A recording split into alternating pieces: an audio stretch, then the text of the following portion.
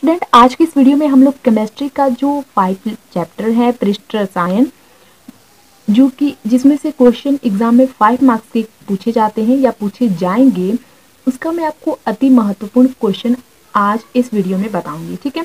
और इस बार का जो सिलेबस चेंज हुआ है, उसके अकॉर्डिंग ही इंपॉर्टेंट क्वेश्चन मैं आपको बताऊँगी इस वीडियो में।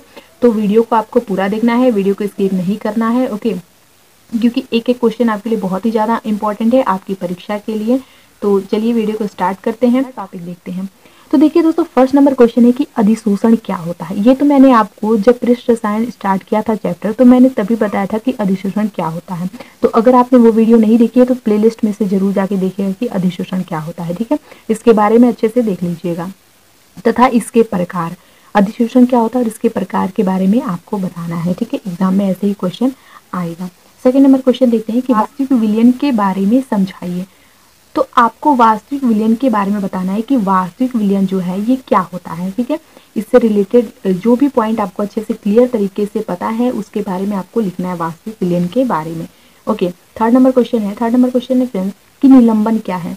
शॉर्ट फॉर्म में कि निलंबन क्या है, ठीक है? ऐसे ही क्वेश्चन कर सकते हैं। निलंबन क्या है? टू मार्क्स का क्वेश्चन ही आएगा और टोटल फाइव मार्क्स के क्वेश्चन किए जाते हैं प्रेस्ट रसायन में। से तो निलंबन क्या है? इस तरह से अगर क्वेश्चन आए तो ये टू मार्क्स के पूछे जाते हैं या फिर थ्री मार्क्स के। तो आप तो आपको इसका जो आंसर है, वो लिख देना है ओके निलंबन क्या इसकी परिभाषा लिख देनी है, इसके बारे में लिख देना है। अब हमारा फोर्थ नंबर क्वेश्चन की ब्राउनी गति क्या है? Is the most important question Brownian गति। चित्र के माध्यम से विस्तार से समझाइए। आपको ब्राउनी गति क्या है, ये बताना है और चित्र के माध्यम से यानी फिगर ड्रॉ करके आपको अच्छे से विस्तार से बताना है, ठीक है? ब्राउनी गति के बारे में। ओके तो वीडियोस को ज़रूर जाके देखिएगा प्लेलिस्ट में से। मैंने आपको ब्राउनी गति और जितने भी सारे टॉपिक हैं इससे रिलेटेड जो भी क्वेश्चन आंसर सब मैंने आपको बताया है, ठीक है? अब चलिए अगला next question five number question देखते हैं। फ्रेंड्स फाइव नंबर क्वेश्चन है कि टिंडल प्रभाव क्या है? टिंडल प्रभाव के बारे में आपको बताना है। इसको प्रभावित करने वाले कारक, ठीक है? इसको कौन कौन से कारक प्रभावित करते हैं इसके बारे में बताना है। Okay and six number question जो कि लास्ट क्वेश्चन है, उसका नाम है विद्युत कर्ण संचलन। चित्र की सहायता से समझाइए। फिगर ड्रॉ करके आपको बताना है, विद्युत कर्ण संचलन। फ्रेंड्स ये थे six mostly important question chapter five के केमिस्ट्री का जो चैप्टर फाइव है पृष्ठ रसायन के।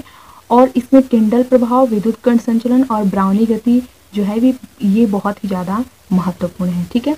तो इन तीनों को आपको ज़रूर याद करना है और जो बाकी क्वेश्चन बचे हुए हैं, उसको भी याद कर लेना है ओके तो आई होप आपको अच्छे से समझ में आ गया होगा एंड वीडियो पसंद आया होगा वीडियो पसंद है तो वीडियो को लाइक कीजिए चैनल को सब्सक्राइब ज़रूर कीजिएगा।